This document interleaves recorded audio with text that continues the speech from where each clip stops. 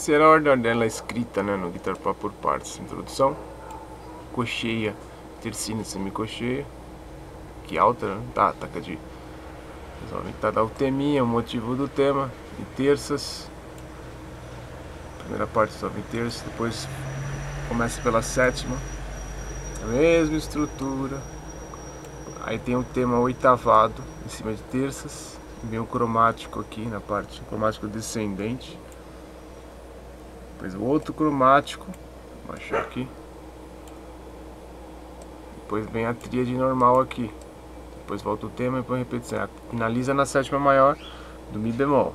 Depois volta o tema, finaliza na tríade normal em terça, que seria o 5 aqui. Depois voltaria a introdução, né, com as cocheia e tercina de semicocheia, com alter. E a tetra de oitavada, oitavana até chegar na casa 19, que seria um Ré estrutura normal. Tá, tá, tá, tá, tá, tá, tá, tá, tá, tá. Só isso. Foi o tema do Darth Vader, analisado e tocado por partes. Gostando, dá um like, curte, comente, sugestão. Isso aí. Falou!